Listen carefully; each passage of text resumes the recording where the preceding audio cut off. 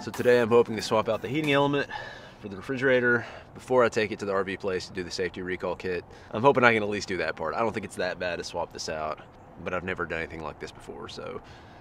But I have seen a YouTube video on it, so that pretty much makes me an expert.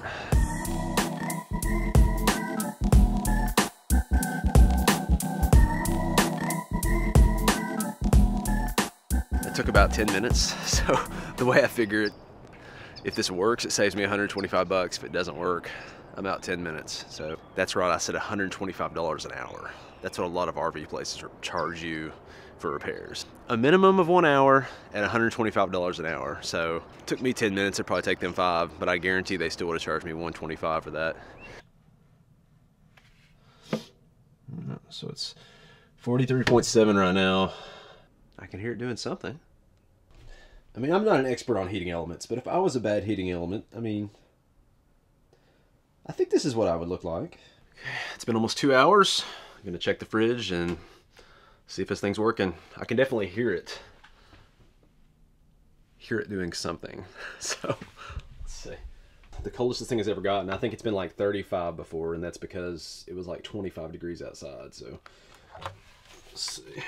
And it was 43.7, I believe, last time. So 19. Awesome.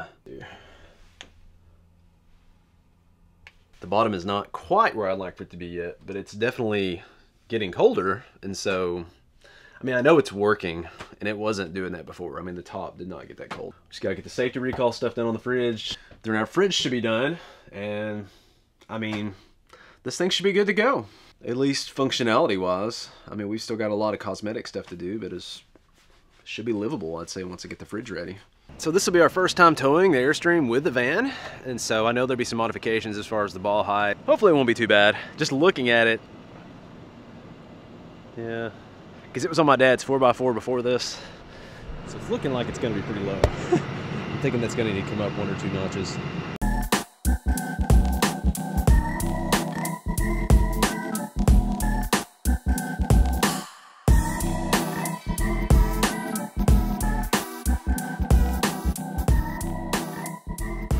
Low profile of the Airstream can be annoying sometimes when you're towing, I'm sure, but as far as raising and lowering the stabilizer jacks, it's like crazy fast and easy.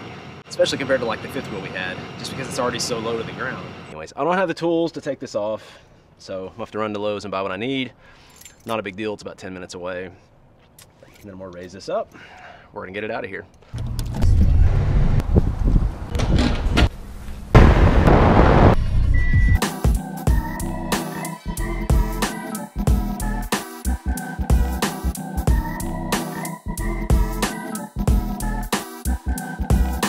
I hadn't found that random pop the campground, there is no way I was gonna get that thing. I can't believe it was that tight. It was insane.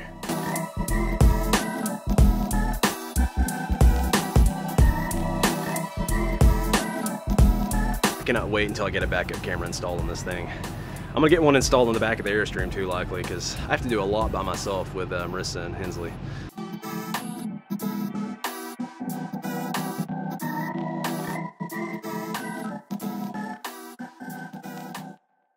So far it's towing good. Uh, the noise level in here is not that bad. I, I can tell it's behind me as far as pulling it with the van. It's not like I have to really use a lot of force with the van to be able to pull it, so that's really good too.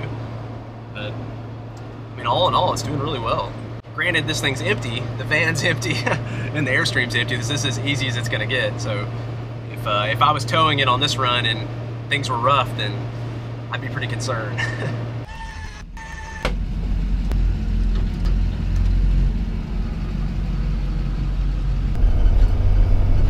we have tried and tried and tried to make it on our propane. Um, we've been on empty for like a week probably. The hope was that we could push it and not have to go leave our site and go fill out with propane. Because eventually we're going to have to move this motorhome off the site anyways, and we were just going to fill it up with propane as we took it probably to my parents' house where I'm going to store it while we're trying to sell it. Um, so that was the plan, just to get sort of a two-in-one deal there. But we're not quite ready to move into the Airstream because we're waiting on the refrigerator to be repaired still. So we're stuck spending a couple hours taking the motor home and filling it with propane. It's pros and cons to everything. Travel trailers, fifth wheels, you get to take the tanks. You don't have to take your whole RV. motorhomes. Either you have to find somebody who can deliver to where you're at, which they don't do here in Cookeville, um, or you have to buy an attachment, attach an outside tank, which I didn't want to do because I thought we could squeeze by.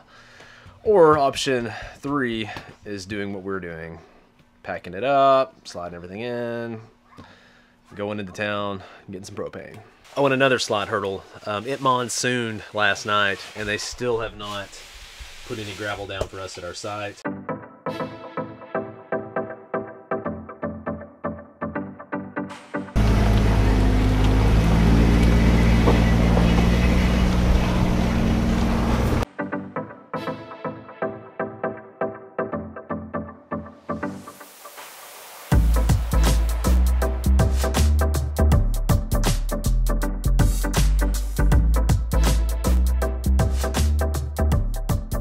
66 bucks to fill up the propane tank. So it's not terribly bad, especially in the summer. We make it, you know, three plus months on one tank of propane usually with the RV.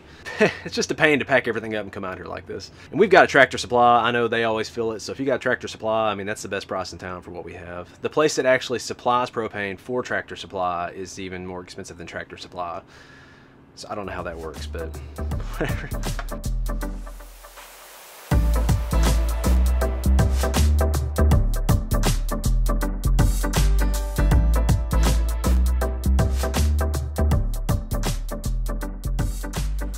Pulling in and out of the site after an extremely rainy night did not go without notice, I guess. I did talk to the owner and let him know, said, look, we're out of propane.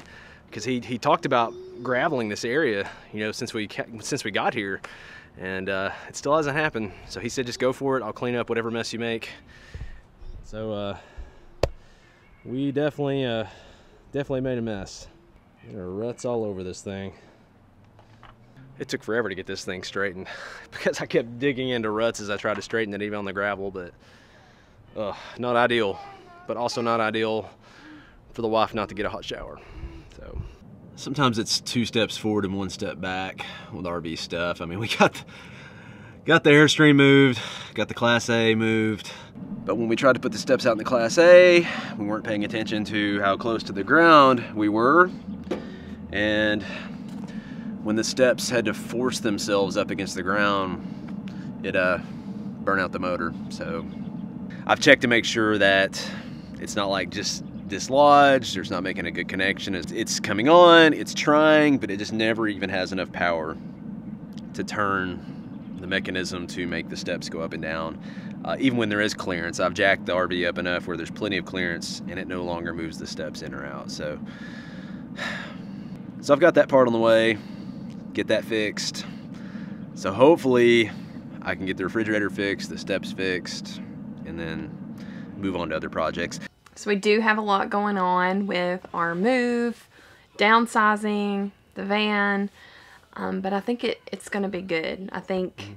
it's it's going to get, life is going to get simpler for us is kind of what we're hoping for.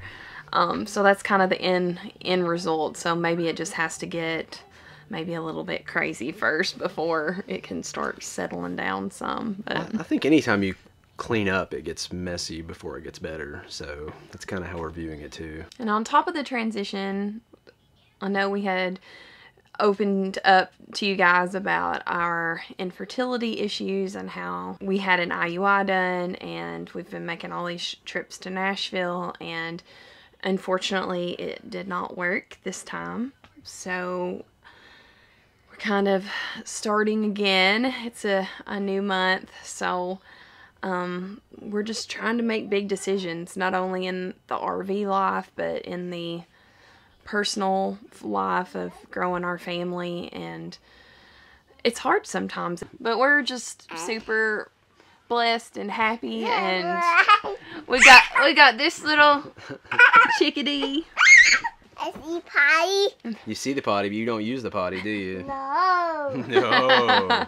so we're just getting a new game plan together and just one month at a time, which is all we can do right now. It's yeah. just sometimes when you think ahead to the future, it gets really overwhelming. It's been the same thing with the RV. You start thinking about everything you have to do or the future and you get overwhelmed. But if you just start thinking about what can I do right now and we'll get there.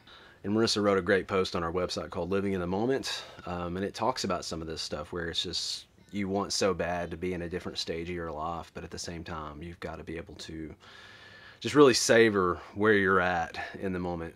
Um, you know, we'll never have this same exact day with our daughter again or as a couple. Sometimes we get so focused on what's next and what we want in the future that we're not really living in the moment. And I don't want the moment to pass us by. I mean, everybody gets frustrated with where with where they're at sometimes. I know some of you maybe even like you want to be on the road so bad, but you just can't right now, and just finding a way to Because we were there. Yeah. We were Yeah. right there wanting it so bad. And there's always going to be something else that you're wanting. Just like now we're on the road and now we want a baby. And it's like there's always going to be something. But mm-hmm. it's Yeah. like you just got to take time and enjoy where you're at. Yeah, I think it's okay to want more and to challenge yourself to have more, but at the same time, find a way, find that balance of being happy and you know grateful for where you're at, and really savoring that. And that, that's what we know. That's what we want to do with our life, and we hope that we're doing an okay job with it. but it's always a work in progress. We're gonna call it a night. Have a go team here. Okay. Hands Catch you guys in. later. Ready? Hands in. One, two, three. Yay! Go team!